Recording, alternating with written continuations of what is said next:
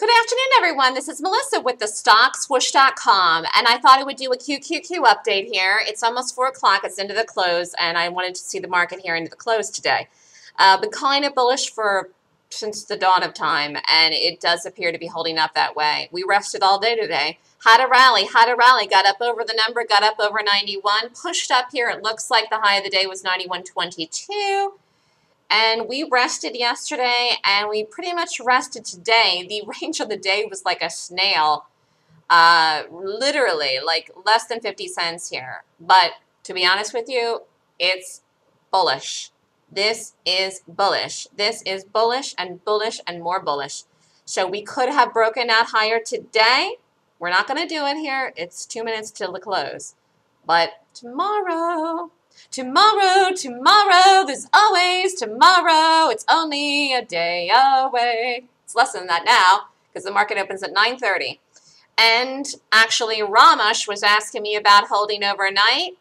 Looks like a good idea here. Looks like it's perfectly fine. Market's either going to gap neutral or up or slightly right, like near the close here tomorrow. Looks like a bullish day in the market tomorrow.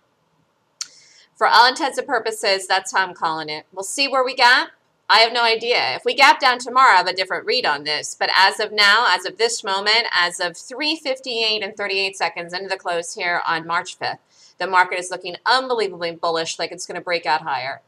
And it could do that tomorrow, okay, because it's taking a nap. And if you really want to look at, I mean, I can see all this from the daily chart, but the 15 minute really gives you a good, good picture here about how the range of this market for the last two days is trading so tightly. Here, let's squish it together. See that? It's definitely not weak. It is intensely strong. It's like if you would take a slinky. It's, you know, remember you used to play with the slinkies? You would squish that slinky together really tight and then you'd let it down the stairs and it would go and go and go. You'd have to squish the slinky tight You'd squish it down and then boom, then it would go down the stairs by itself. That's what the market's doing. It's like a slinky right now.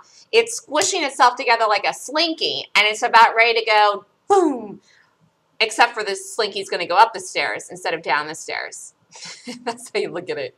It's tight, tight, tight, tight, tight, condensed, concise, squishy trading action that's ready to break higher just ready to do it whenever uh, you know whenever they feel like doing it. Could be tomorrow, could be the next day, but it's looking like it's going to be soon.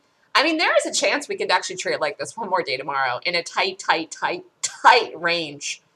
I don't know what date is out tomorrow. I'll have to look at it when I get up tomorrow morning. But I think most likely is we rally tomorrow and just do it tomorrow.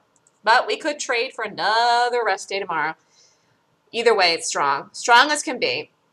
If we gap down tomorrow morning, I'll have a different read on this, but low odds it happens. Looks like it's going to play out very strong and tight and a nice rally here, potential for the market to make a big lift to the next number, which was 91.88 and then 92 and 92.25 in the QQQs. Those are the next long targets for the Qs. Very nice bullish move here, very tight condensed trading, easy read. Easy read here for this market. Bullish, trend is your friend and is continuing onward. Thanks everybody, have a great afternoon. See you tomorrow morning.